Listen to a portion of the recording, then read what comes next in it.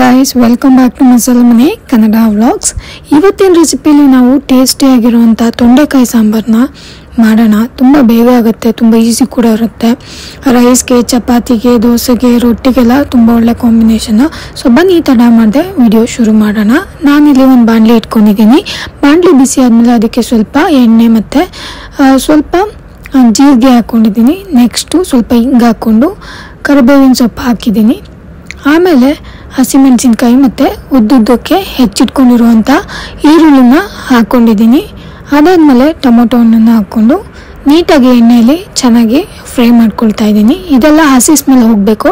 ಅಲ್ಲಿವರೆಗೂ ನಾವು ಇದನ್ನು ಫ್ರೈ ಮಾಡ್ಕೊಳ್ಳೋಣ.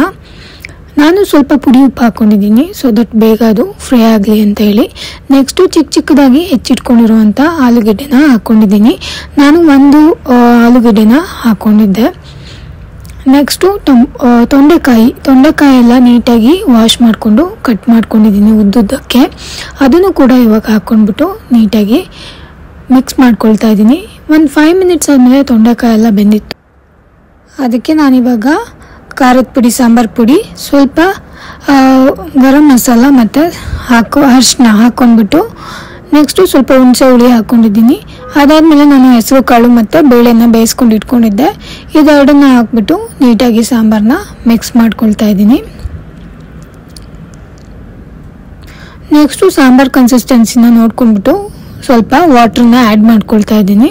ನಿಮಗೆ ಗಟ್ಟಿ ಬೇಕಂದರೆ ನೀವು ಪಲ್ಯ ಥರನೂ ಮಾಡ್ಕೊಳ್ಬೋದು. ಇಲ್ಲಾಂದರೆ ರೈಸ್ಗೆಲ್ಲ ಬೇಕಂದರೆ ಸಾಂಬಾರ್ ಕನ್ಸಿಸ್ಟೆನ್ಸಿಗೆ ನೀವು ಅಡ್ಜಸ್ಟ್ ಮಾಡ್ಕೊಬೋದು ಇವಾಗ ಒಂದು ಫೈವ್ ಮಿನಿಟ್ಸ್ ಇದನ್ನ ಕುದಿಯೋಕೆ ಬಿಟ್ಟು ಬಿಡೋಣ. ನಾನಿಲ್ಲಿ ಸ್ವಲ್ಪ ತೆಂಗಿನ ತುರಿನ ಹಾಕ್ಕೊಳ್ತಾ ಇದ್ದೀನಿ. ಫ್ರೆಶ್ ಕೊಕೊನೆಟ್ ಗ್ರೇಟೆಡ್ ಕೊಕೊನೆಟ್ ಹಾಕ್ಕೊಂಡಿದ್ದೀನಿ ನೆಕ್ಸ್ಟು ಕೊತ್ತಂಬರಿ ಸೊಪ್ಪನ್ನ ಕಟ್ ಮಾಡಿಬಿಟ್ಟು ಹಾಕ್ಕೊಂಡಿದ್ದೀನಿ ಇದೆಲ್ಲ ಹಾಕಿದ್ಮೇಲೆ ಒಂದ್ಸರಿ ಮಿಕ್ಸ್ ಮಾಡ್ಕೊಳ್ಳೋಣ. ಒಂದು ಫೈವ್ ಮಿನಿಟ್ಸ್ ಇದನ್ನು ಚೆನ್ನಾಗಿ ಬಾಯ್ಲ್ ಆಗೋದಕ್ಕೆ ಬಿಟ್ಟರೆ ಸಾಂಬಾರ್ ರೆಡಿ ಆಗುತ್ತೆ. ಸಾಂಬಾರ್ ತುಂಬ ಟೇಸ್ಟಿಯಾಗಿರುತ್ತೆ ತುಂಬ ಈಸಿ ಕೂಡ. ನೀವು ಕೂಡ ಈ ರೆಸಿಪಿನ ಮನೇಲಿ ಟ್ರೈ ಮಾಡ್ಬೋದು. ಐ ಹೋಪ್ ಇವತ್ತಿನ ರೆಸಿಪಿ ನಿಮ್ಗೆಲ್ಲರಿಗೂ ಇಷ್ಟ ಆಯ್ತು ಅಂತ ನಾನು ಅಂದ್ಕೊಳ್ತೀನಿ ಮತ್ತು ಇದೇ ಥರ ಇನ್ನೂ ಈಸಿಯಾಗಿರೋ ಸಾಂಬಾರ್ ಮತ್ತು ಬೇರೆ ರೆಸಿಪಿಗಳ ಜೊತೆ ಇನ್ನೊಂದು ಬ್ಲಾಗಲ್ಲಿ ಸಿಗೋಣ.